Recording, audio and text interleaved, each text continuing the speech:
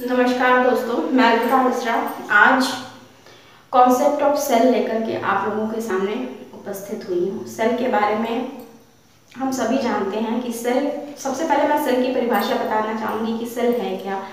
तो कोशिकाएँ जो है, वो जीवन की आधारभूत, क्रियात्मक एवं संरचनात्मक इकाई है।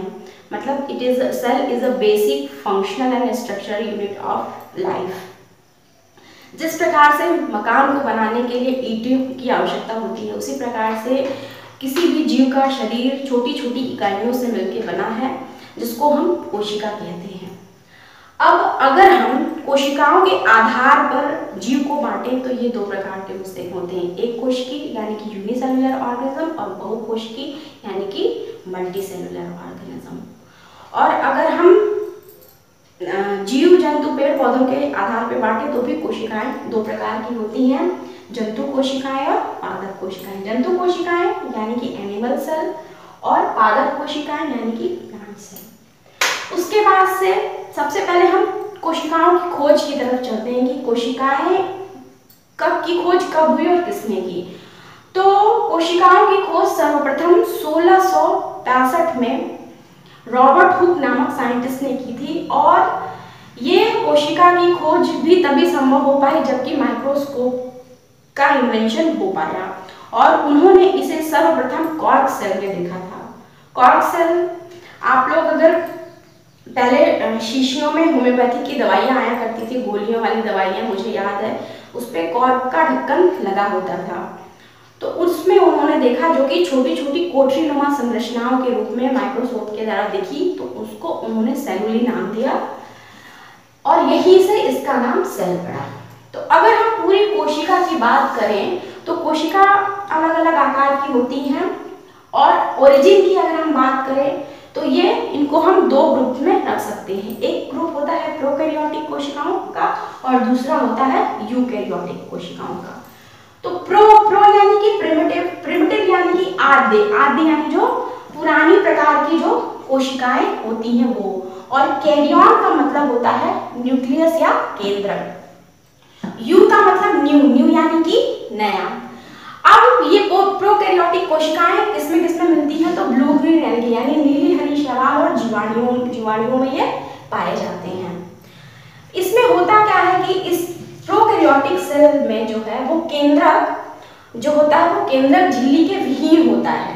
मतलब इसमें न्यूक्लियस के ऊपर कोई मेम्ब्रेन नहीं होती न्यूक्लियर मेम्ब्रेन एब्सेंट होती है। इसमें जितने भी जेनेटिक मटेरियल होते हैं डीएनए आरएनए या क्रोमेटिन फाइबर वो सब स्कैटर्ड फॉर्म में होते हैं। There is no differentiation between cytoplasm and nucleoplasm और इसमें जो राइबोसोम होता है, वो 70 एस टाइप का होता है दूसरी बात करें हम यूकैरियोटिक कोशिकाओं की तो ये एडवांस टाइप ऑफ़ सेल्स होते हैं। इसमें हम मनुष्य को रखते हैं, तिलचट्टा को रख सकते हैं अमीबा पैरामिशन ईस्ट जितनी भी प्रकार की कोशिकाएँ प्रोकैरियोट्स एक कोशिकी हो या बहुकोशिकी ये सब यूकैरियोट्स के अंदर आते हैं। तो इसमें जो पूरी न्यूक्लियस न्यूक्लियस जो होता है, वो पूरी चारों ओर से एक न्यूक्लियर मेम्ब्रेन के द्वारा घिरा होता है। वही न्यूक्लियर मेम्ब्रेन इसको साइटोप्लाज्म और दूसरे सेल ऑर्गेनेल से अलग करती है।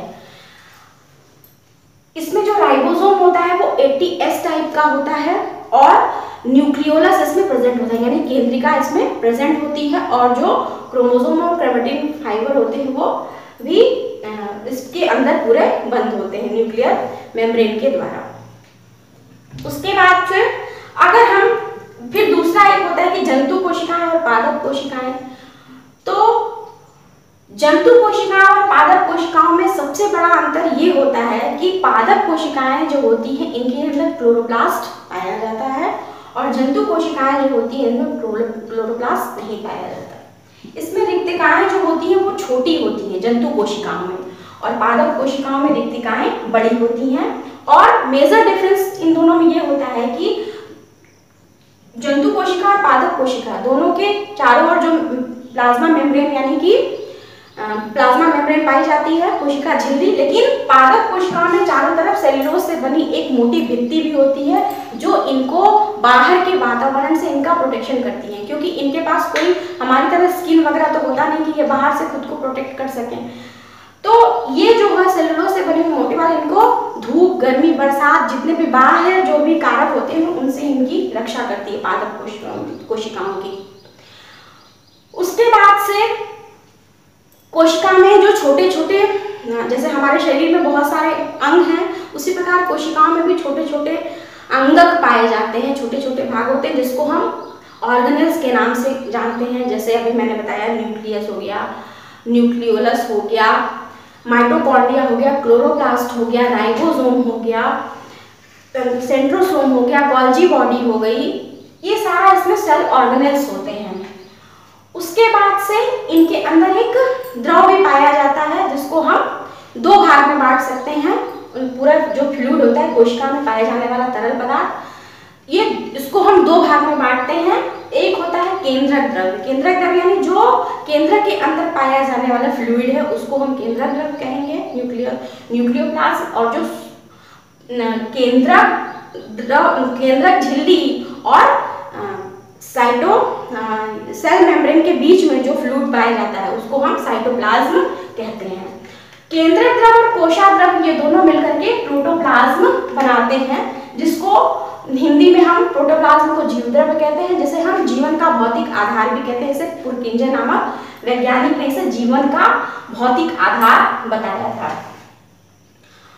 और उसके बाद अगर हम चले तो सेल सेल के बाद सेल जब ऑर्गेनाइज होती है, लेकिन ऑर्गेनाइज किस फॉर्म में हो वो कि एक ही प्रकार की सेल्स हो, उनका फ़ंक्शन उनका स्ट्रक्चर सब कुछ समान हो तो उस प्रकार का जो ग्रुप बनता है, उसको हम टिश्यू कहते हैं। टिश्यू से ऑर्गन बनता है ऑर्गन से ऑर्गन सिस्टम और ऑर्गन सिस्टम मिलकर के पूरी बॉडी का निर्माण करते हैं। यहाँ पे नीली हरी शैवाल और जीवाणुओं की बात हुई, इसी में एक और चीज़ आती है वायरसेस वायरस यानी विषाणु। अभी हम लोग इस समय एक त्रासदी को झेल भी रहे हैं, जो कि कोरोना वायरस के नाम से जिसको हम जान रहे हैं। तो ये जो वायरस होते हैं, इनको सजीव और निर्जीव के बीच की कड़ी कहा गया है।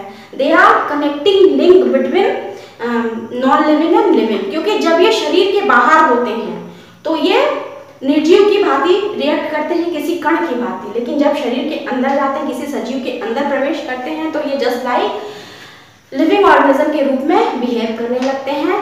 ये भी इनके अंदर भी डीएनए आरएनए के द्वारा जेनेटिक मटेरियल होता है, जिसके द्वारा ये रेप्लिकेशन करते हैं, अपनी शक्ति बढ़ाते हैं। और आगे भी हम लोग इसके बारे में बात करेंगे। धन्यवाद दोस्तों